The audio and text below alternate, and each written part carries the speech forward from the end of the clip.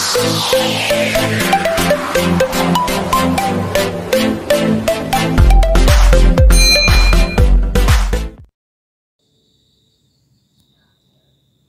everyone, I hope you are pretty well today and ready for the continuity of our pronunciation lesson which is of course about strong and weak form of words.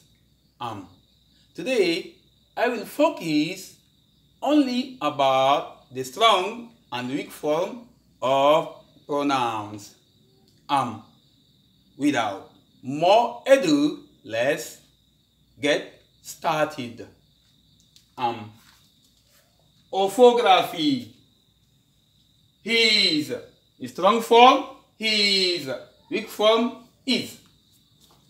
Him. Strong form, him. Form, him. Her. Strong form, her. Weak form, her. As you can notice, you just drop the H to get the weak form of these three pronouns. Move on. You. Strong form, you. Weak form, yeah.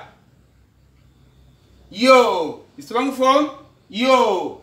Weak form, yeah. She. Strong form, she. Weak form, she. He. Strong form, he. Weak form, he. We. Strong form, we. Weak form, we. As. Strong form, as. Weak form, s. Um, that's all for our today lesson. I hope you enjoy it and please do not hesitate to subscribe, comment, share and like.